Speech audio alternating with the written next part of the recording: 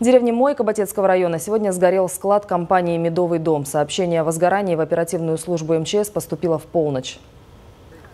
На момент прибытия пожарных подразделений горело складское помещение и уже произошло обрушение кровли. Пожар удалось ликвидировать к трем часам ночи. Владельцы медового дома в телефонном разговоре предположили, что причиной мог стать поджог. Подход к складу с одной из сторон попал в слепую зону видеонаблюдения, поэтому подтвердить предположение фактом пока не удалось.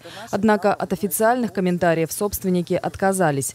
Не были рады нашей съемочной группе и охранники предприятия, которые в культурной, но настоятельной форме форме запрещали снимать сгоревший склад даже со стороны. Сейчас в обстоятельствах произошедшего разбираются оперативные службы. На месте ЧП работали сотрудники полиции совместно с МЧС. Кстати, сегодня же стало известно, что компания «Медовый дом» получила премию в рамках национального проекта «Производительность труда» за технологическую модернизацию на участке закачки меда. Было отмечено, что компания также увеличила эффективность использования складских помещений.